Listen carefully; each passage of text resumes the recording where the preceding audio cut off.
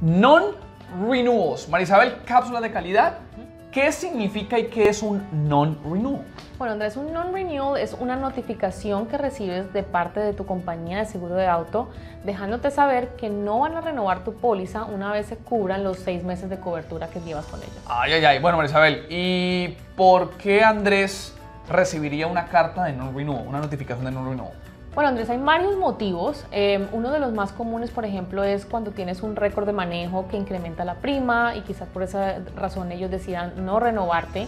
Okay. Eh, otro motivo puede ser cuando tienes reclamos, has tenido reclamos altos y por tal razón ellos también decidan no renovarte. Okay.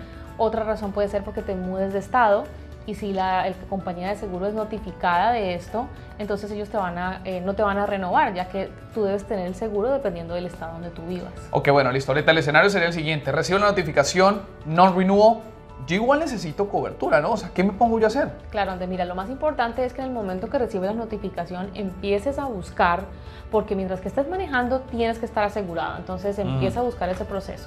Una de las ventajas que tienes con nosotros es que nosotros estamos siempre al tanto de nuestras renovaciones y si es el caso de que te llegue un non-renewal, pues nosotros empezamos a buscar una oferta nueva para ti. Trabajamos con más de 15 compañías en el mercado, entonces estamos seguros que si una no te va a ofrecer renovación, te podemos encontrar con otra compañía. María Muchas gracias. Mi gente, otra cápsula de calidad. Nos vemos en el próximo capítulo. Bye.